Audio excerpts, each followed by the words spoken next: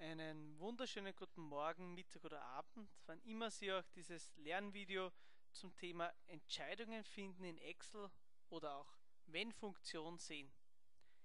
Vor Ihnen sehen Sie jetzt eine Excel-Arbeitsmappe und wir sollen heute berechnen, wie hoch, wie hoch sind denn die Kursgebühren, die die einzelnen Teilnehmerinnen und Teilnehmer bei unserem Kurs zahlen müssen.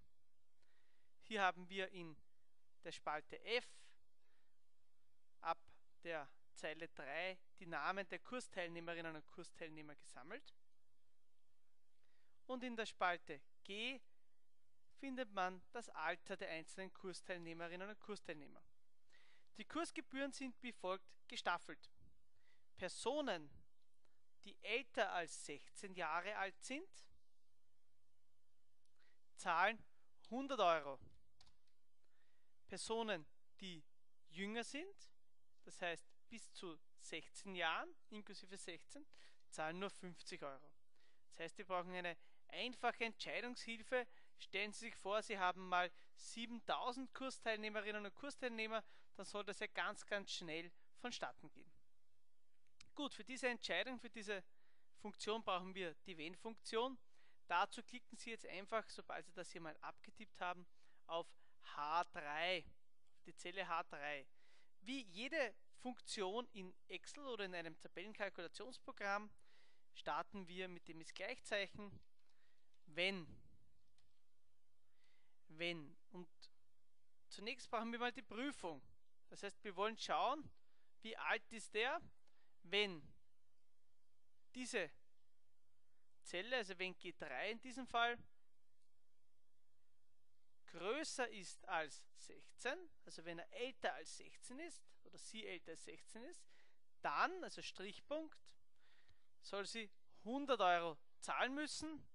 Ansonsten, der Sonstwert, nur 50. Wir schließen das Ganze mit einer Klammer und drücken Enter. Und automatisch kommt hier dann 100 Euro, denn die Anna ist ja auch älter als 16, sie ist 20 Jahre alt. Ich kann jetzt diese Formel auch ganz einfach für die weiteren Zellen anwenden. Dazu brauche ich das nur automatisch ausfüllen. Ich positioniere meinen Cursor in der rechten unteren Ecke der Zelle und ziehe einfach mit gedrückter linken Maustaste das Ganze nach unten. Und schon wird die entsprechende Kursgebühr dem Alter entsprechend ausgefüllt.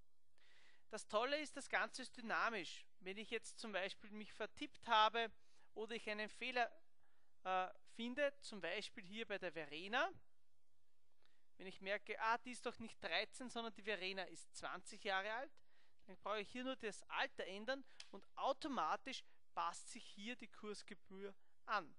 Ja, so einfach können Sie einfache Entscheidungen in Excel herbeiführen.